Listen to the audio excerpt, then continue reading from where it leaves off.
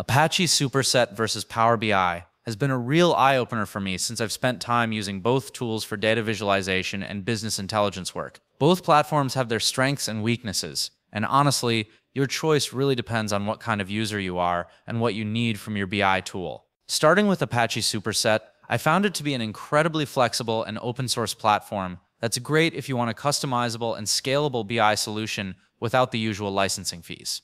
The interface is clean and intuitive, which made it easy for me to build dashboards and charts once I got past the initial setup. One thing I really liked about Superset was the way it handles calculated fields and complex queries. It's quite powerful and lets you dive deep into your data if you're comfortable with SQL and some data engineering concepts. The dashboards feel really responsive, and the customization options gave me a lot of control over how the data is presented. On the other hand, Power BI, being a Microsoft product, has a polished feel and is super popular in the business world for a reason. Its data visualization capabilities are top notch, making it really straightforward to create visually appealing and interactive reports, even if you're not a technical expert. I like that Power BI integrates so well with the rest of the Microsoft ecosystem like Excel and Azure, which was a huge plus for me when working in a corporate environment.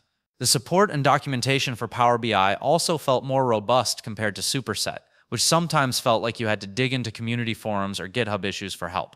However, Power BI can get pricey once you go beyond the free tier, especially if you want to scale it for more users or add advanced features. One interesting thing I noticed when comparing the two was around ease of use. Superset scored slightly higher for me because once set up, I found its interface pretty intuitive, especially for data analysts who are comfortable with SQL.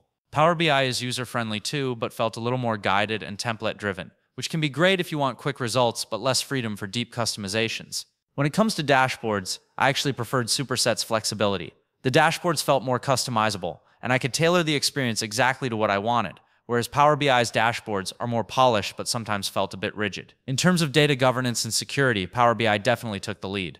The tools Microsoft provides for managing data security, user permissions, and compliance were much stronger than what Superset offers out of the box. This makes Power BI a safer bet for enterprises dealing with sensitive data or strict regulatory requirements. I also found Power BI's calculated fields to be good, but a bit less flexible compared to Superset, which really shines if you need advanced custom calculations and transformations. Pricing wise, Superset is obviously attractive since it's open source and free, but it comes with the trade off of needing more technical setup and maintenance. Power BI has a free version for one user, but its real power comes with paid plans that can get expensive depending on the size of your team and your feature needs. So if budget is tight and you have the technical know how, Superset is a strong contender.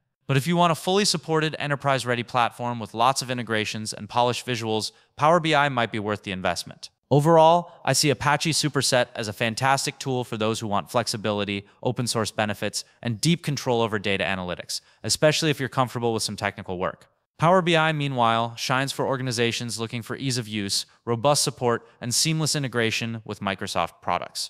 Both are powerful in their own right, so it really comes down to your specific needs, team skills, and budget.